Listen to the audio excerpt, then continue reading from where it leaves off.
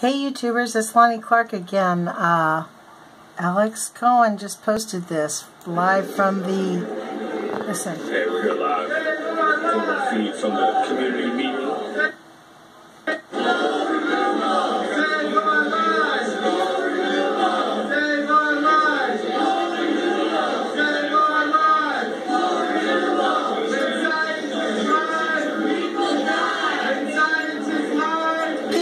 Die.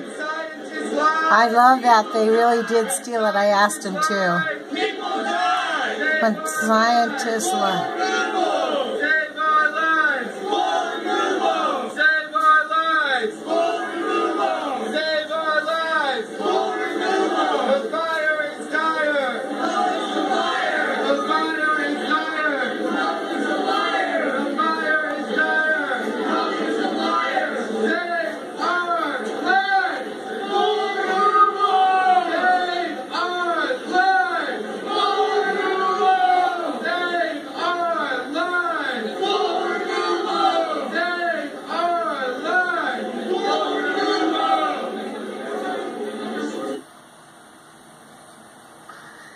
That's a pretty awesome action. Thank you, Alex. Thank you Soul Much Water. Thank you, uh, STL Toxic Aware, STL Moms Toxic Aware. It's STL Toxic Aware.